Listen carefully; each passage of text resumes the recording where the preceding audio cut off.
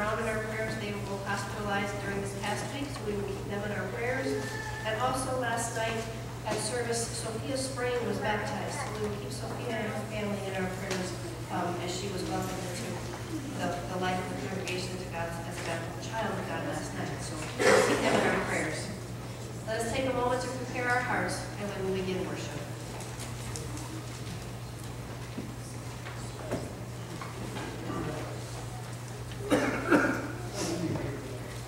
Would you please rise?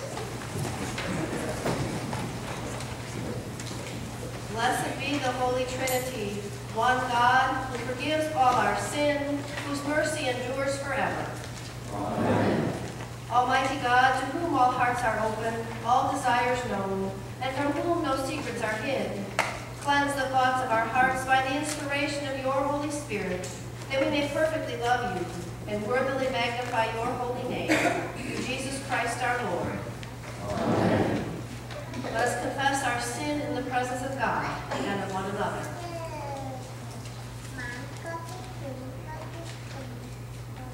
Most merciful God, We confess that we are captive to sin and cannot free ourselves. We have sinned against you in thought, word, and deed, by what we have done and by what we have left undone. We have not loved you with our whole heart. We have not loved our neighbors as ourselves. For the sake of your Son, Jesus Christ, have mercy on us. Forgive us, renew us, and lead us, so that we may delight in your will and walk in your ways, to the glory of your holy name. Amen. in the mercy of Almighty God, Jesus Christ was given to die for us, and for his sake God forgives us all our sins. As a called and ordained minister of the Church of Christ, and by his authority, I therefore declare to you the entire forgiveness of all your sins, in the name of the Father, and of the Son, and of the Holy Spirit. Amen. The opening hymn is number 445.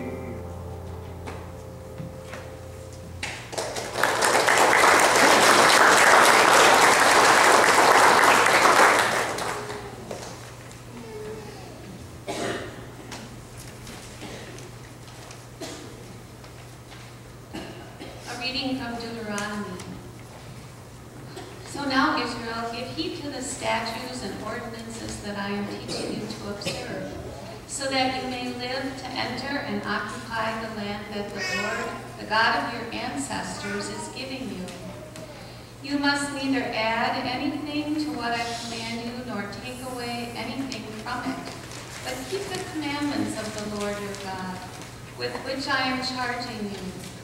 You must observe them diligently, for this will show your wisdom and discernment to the peoples, who, when they hear all these statutes, will say, Surely this great nation is a wise and discerning people.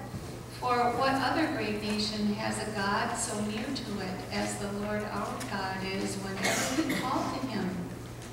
And what other great nation has statutes and ordinances as just as this entire law that I am setting before you today?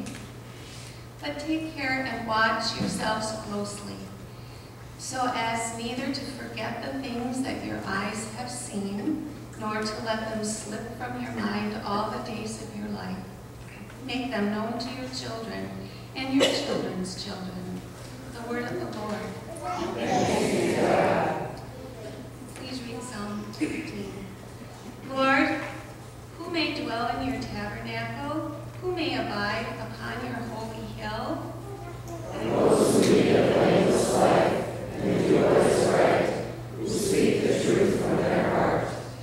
They do not slander with the tongue. They do not they do no evil to their friends. They do not cast discredit upon a neighbor.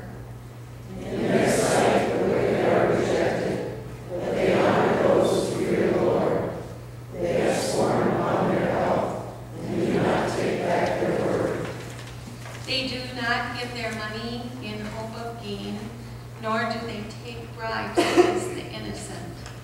Those who do these things shall never be overthrown. Second reading is from James. Every generous act of giving with every perfect gift is from above, coming down from the Father of lights, with whom there is no variation or shadow due to change. In fulfillment of his own purpose, he gave us birth by the word of truth, so that we would become a kind of first fruits of his creatures. You must understand this, my beloved. Let everyone be quick to listen, slow to speak, slow to anger. For your anger does not produce God's righteousness. Therefore, rid yourselves of all sordidness and rank growth of wickedness, and welcome with meekness the implanted word that has the power to save your souls. But be doers of the word, and not merely hearers who deceive themselves. For if any are hearers of the word and not doers, they are like those who look at themselves in a mirror. For they look at themselves and on going away immediately forget what they were like. But those who look into the perfect law, the law of liberty, and persevere, being not hearers who forget, but doers who act, they will be blessed in their doing. If any think they are religious and do not bridle their tongues, but deceive their hearts, their religion is worthless. Religion that is pure and undefiled before God the Father is this, to care for orphans and widows in their distress, and to keep oneself unstained by the world. The word of the Lord.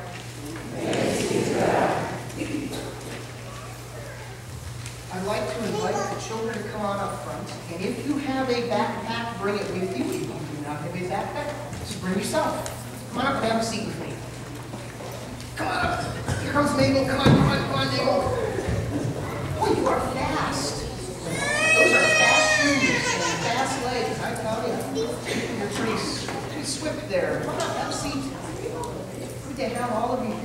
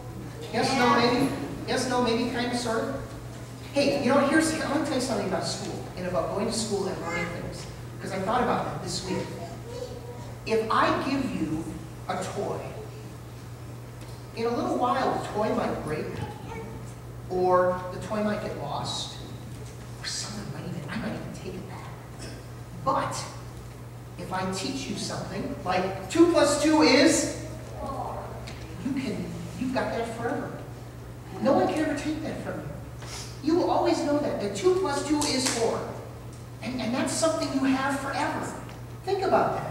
When you go to school this week and the teacher says, you've got to learn something, you go, you know what? The teacher is going to give you something that you can have for the rest of your life. God's no. See? Think about that.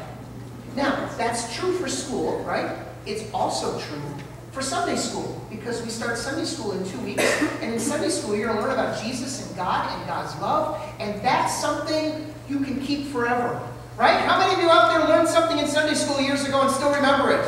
I don't. Yeah, but they do, see, Charlie, they do. That's why you're going to learn, buddy. Okay? So, so that's why we do Sunday school and school because we get to, we get something that we get to keep for the rest of our life, Charlie. And you know what?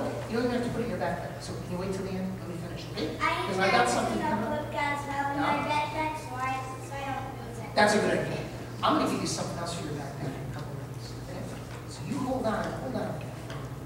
So what we're going to do this morning is we're going to talk a little bit about learning, and we're going to talk a little bit about um, our backpacks. As we do that, I'm thinking about how we're getting ready for school. You guys getting ready for school? You got stuff, getting, got our stuff right? And teachers, you have any teachers here today? Anybody teachers? Are you getting ready for school? Getting ready for school, getting ready for school? Yeah, we're getting ready for school. So we're going to do something to get ready for school. So here's what I want to do. I would like to ask everybody else, and I know we have a lot of you, including some adults, who are students, come up front. I want all, even if you don't have to be a kid, a little kid, all the students come up front. All the kids, come on, come on, come on. Come on. We've even got adults who are going to school. Come on. Get up here, Michaels, get over here. The Michaels kids, get up here. I want all the students up here. Let's all up here, all up here. Come on up. Just kind of gather over here. And, and I, I've got something. I'm going to show you something here. Let me show you something. You see this? Okay, you see this? What, what is that? It's an owl. Now, if you got here early enough and you looked at the cake that we had out in for fellowship hour, it had an owl because an owl is an animal. What, what, what do we think of when we think of an owl? Yeah, yeah. Owls are smart, right? Yeah, yeah. So, that, so they're kind of a symbol of learning, aren't they? And, and learning things? Yeah, and So- also they can put their head back where it's where back and Yeah. Their head hard. So this guy doesn't have to do that because he's mounted nice and securely here. And here's what's... Yes, it's a fake. Let me, hold on. This isn't a fake. This is a real owl. He might not be alive, but he is a real owl. So, ah. so I'm thinking about an owl, okay? So an owl is something we think about for being smart and learning things. But I want you to think of an owl a little differently. Are you ready for this? Are you ready for this? Jesus says, I will always be with you. Ah. And Jesus says, I will always love you. Oh, isn't that great? So here's, here's what we have for all of our students. We're going to give you each an owl, okay, one of these owls. Now, the thing is, this, this, there's no way you can tie this to your backpack and last about five minutes because it's not that secure. So what I want you to do is I want you to take this home and on the back, and I'll give you a little slip of paper to remind you about this. On the back, and if you need some help from your moms and dads, ask for some help. You can probably do it okay by yourself, right? So you write on the back, I will always love you, or I will always be with you, whichever one you want to do. I will always love you, right down the back. And then you take this and you put it in your backpack, okay? Or Charlie, you know what else you could do with it? You could put it like on your dresser, or you could put it in your locker, or you could put it on your refrigerator so that as time goes on, you know when you've got a really lousy day, you wake up on the wrong side of the bed, or like you're going to have a test today and you know that you're not going to do very well. You walk into the kitchen or you look at your dresser or you look in your locker and you see the owl and you remember that Jesus says, Owl always love you. Got it? Will always love you. So, so everybody gets one and we want you to do that. So Charlie, we're gonna do next. Oh, When you're done. I don't want to talk to you if you're done. Okay? So, here's what I want to do. We're going to have a prayer, and then we're going to have a blessing. Okay? You ready for this? You ready for this, Charlie? Yes, I am. Okay, good. You're ready. Let us pray. God of all knowledge and wisdom, these students in backpacks remind us that school is about to begin anew. Walk with them as this year unfolds. Help them and all students of every age and place to discover and develop the gifts you have given them. Give them a thirst for learning. Give them a care and respect for themselves and for others. Be with their parents that they may support them in their learning and growing. And say to them again and again, I will always love you. In Jesus' name we pray. Amen. Now, what I'd like to do next is I would like all of you in the congregation to put your hands out in a hand blessing. And let us bless these children and adults and middle-aged kids who are learners, okay? And old people. And old people, right, like me, okay? And my grandma. And let's, let's, let's bless them. Gracious God, as you have promised to be present with your never-failing love and care, now we ask your blessing upon these students and their backpacks. Fill them with your Holy Spirit as they learn and grow. Bless their learning, that they have joy in learning new things, and that they may be faithful disciples of Jesus in all they do. And may your blessing rest on the backpacks present and those still at home, that they serve these students in their learning. We ask all things in the name of Jesus Christ, our Lord. Amen. Now, shall stay here for just a moment. Those of you out here who are part of the education system, teachers, bus drivers, directors of admission at UWL, whatever your role is in, in, in, the, in the education process, um, secretaries, whatever, would you please stand? And At whatever level, it could be preschool, daycare type situation, it could be elementary, college. If you are a teacher or a or uh, you help the education process, you're a secretary, custodian, whatever you are, would you stand? And what we're going to do is, um, where's the basket go? Let's get the basket out here. I need, I need a couple of you, Rebecca, and maybe one or maybe um, who'd help Rebecca with this, to hand out owls to the people who are standing. Okay? Let's just go. Okay, Eddie, why don't you go ahead and help, okay? Would you help her? Let's make sure everybody standing gets an owl, and then we're going to bless the educators in our midst and ask their God to be with them, okay? You guys make sure everybody gets one.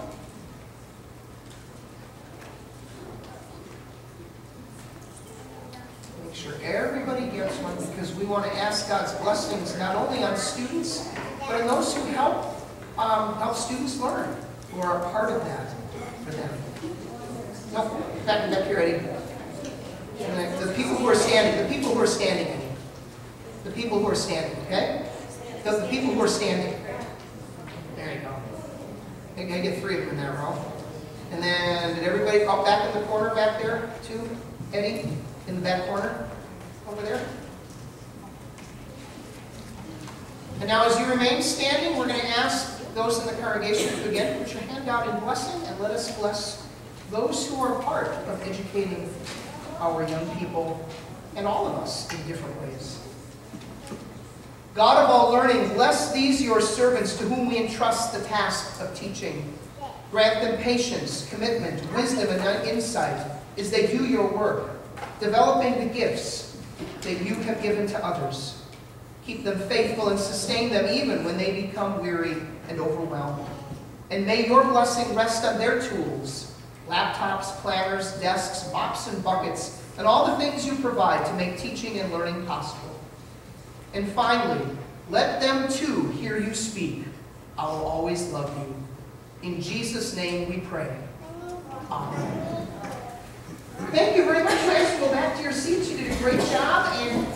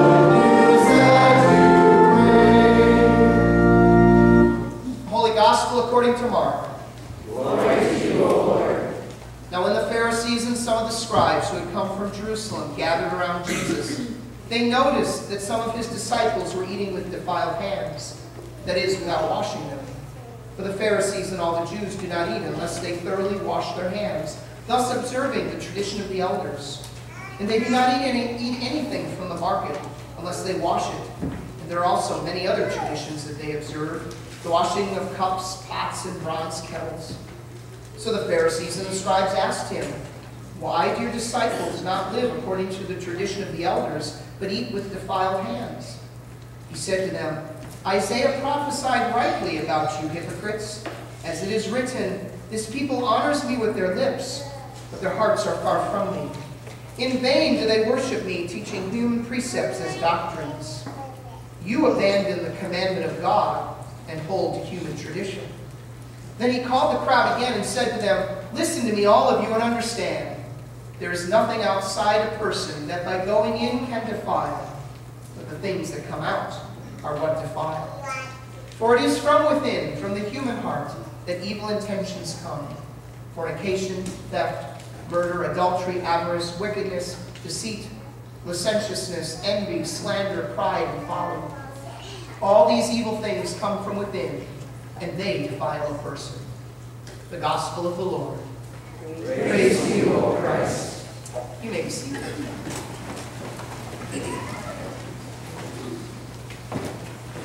Well, if you were here last week, you may recall that Catherine Bottom, in her sermon, started the sermon by saying something to the effect that it just seemed unfair that every time she had to preach, she got stuck with a tough text. I gotta tell you, this is not an easy text either. I gotta deal with tradition and Jesus talking about tradition and how tradition is not always very helpful. And when I first looked at that, I thought, man, I am not going anywhere near a lutefisk on this one. We are not dealing with that tradition at all. Seriously, I want to talk about this text, but I want to talk about it in a broader sense than merely traditions and how we honor traditions or not honor traditions. But in order to do that, I want to go to another story completely for just a moment. I want to go to the story in Genesis chapter 3, the story of the fall into sin. Adam and Eve and the apple, or kumquat, or pomegranate, whatever. Remember the story. God created the world, and God created this Garden of Eden and placed Adam and Eve in the garden and gave them everything they needed for life. They had the fullness of life. All God said, asked, and said was, look, you see that tree in the center of the garden? Don't touch it. Just, just don't touch it. That's all I ask. Don't touch that one tree. Well, you know how the story goes. Pretty soon along comes Satan, the power of evil, in the form of a serpent, kind of slithers up to them and says, look, you know, if you take that fruit, you know what's going to happen? You will become like God. Think about that for a moment. You will become like God. And so they took a bite, and the rest is history. What's happening in this story is, is really pretty profound.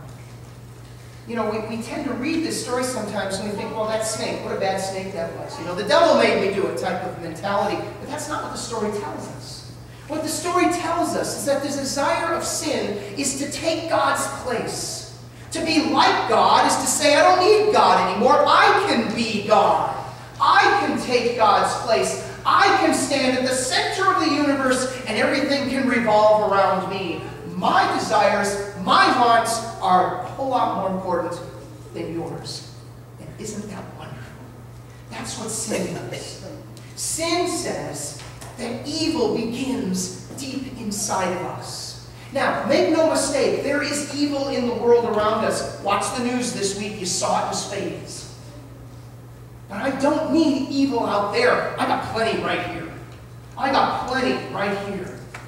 That, that, that in our midst of our, our journey of life, we time and time again desire to be at the center of the action, to be at the top of the heap, to take the place of God. That's what we understand sin to be taking God's place.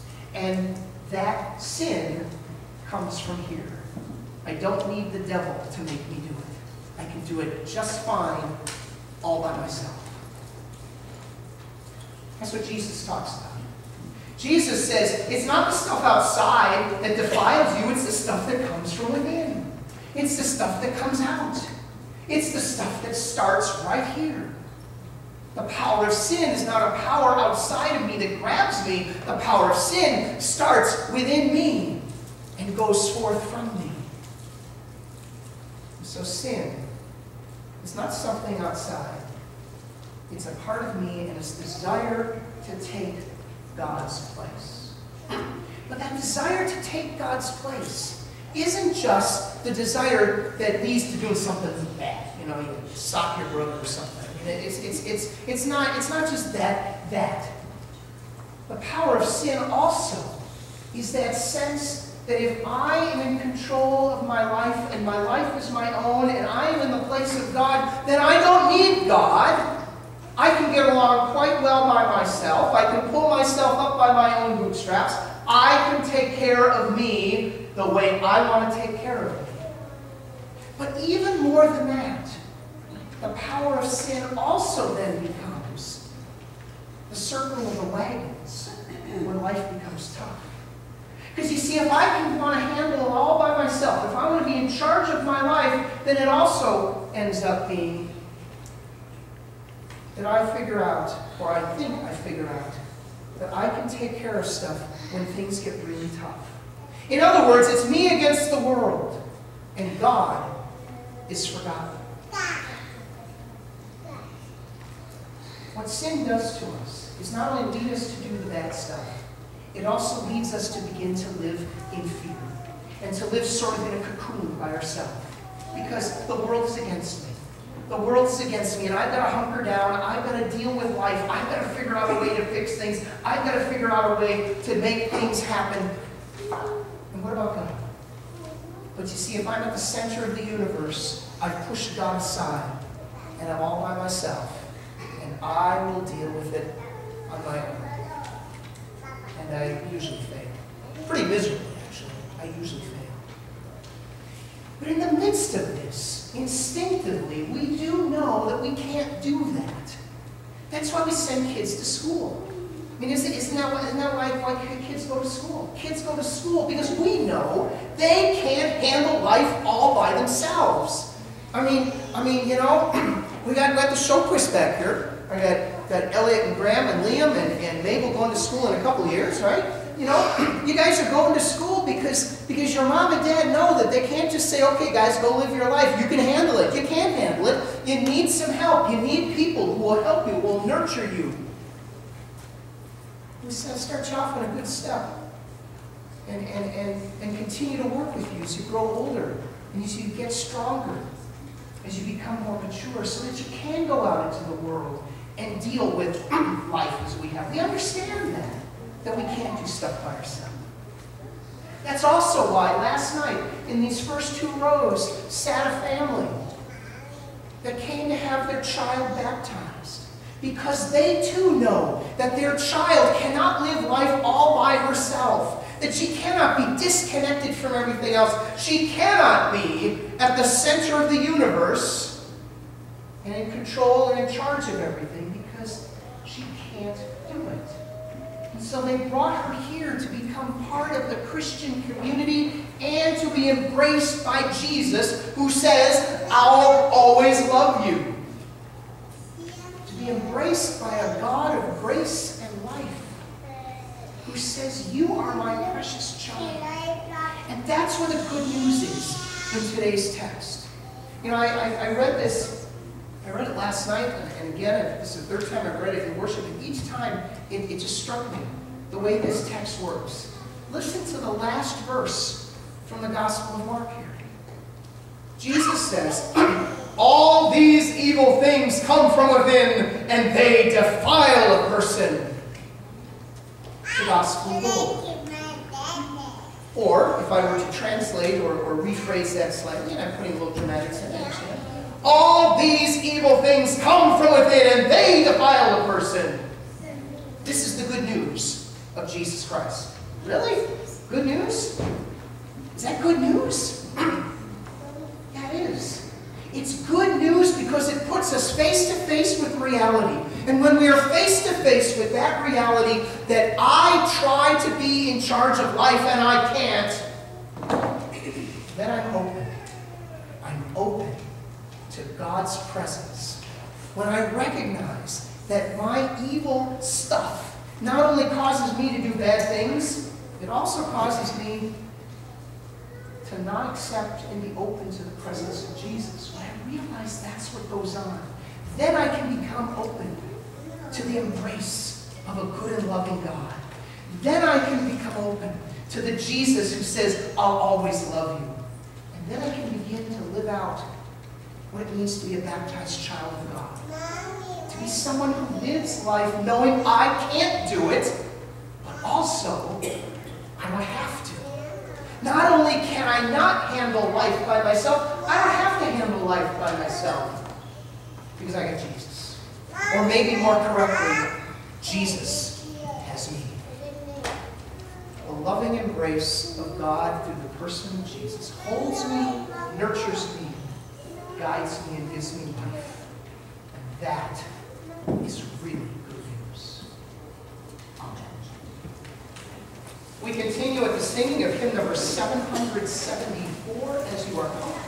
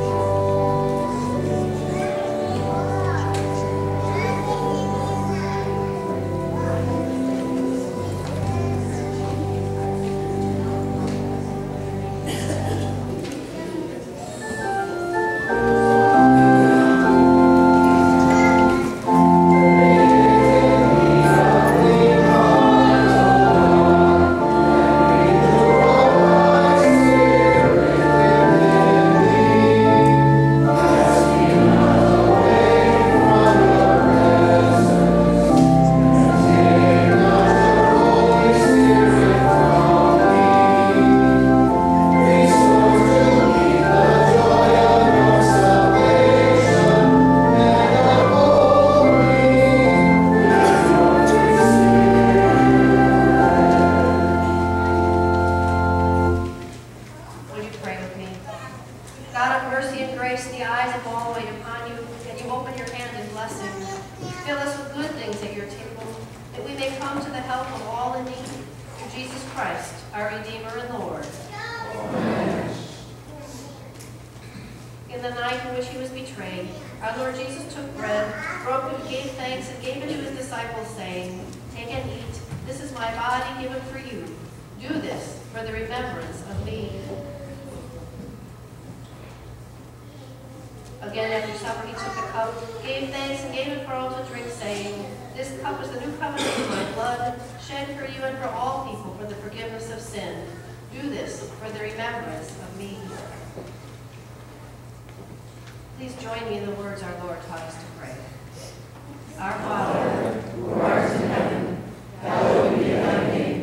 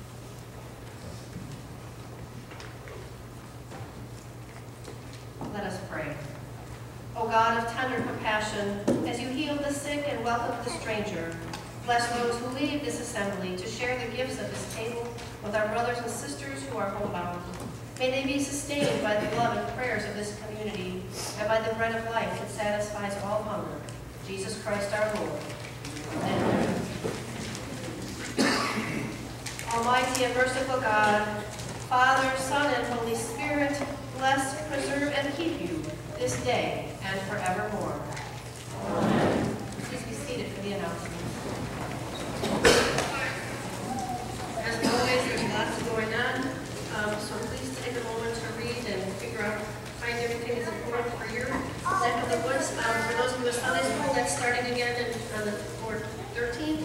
Take note of that. Confirmation is starting this week for parents and teachers, pay attention to that. Um, If you have a student who's going to college, I need, if they're staying home or going away, I need their campus address and or email addresses, so if you could share that with me, I would greatly appreciate that. Um, They may be out of sight and gone from our hearts, but they're always in our hearts. They might be physically gone here, but um, Next weekend is Labor Day weekend, so come in your work clothes. Um, We'll be having our, this on, this is our clothes, but um, come wearing your work clothes and we will celebrate um, Labor Day. Um, Yes, Eileen has